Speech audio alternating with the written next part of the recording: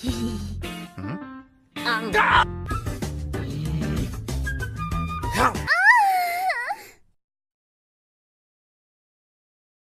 was at this moment he knew.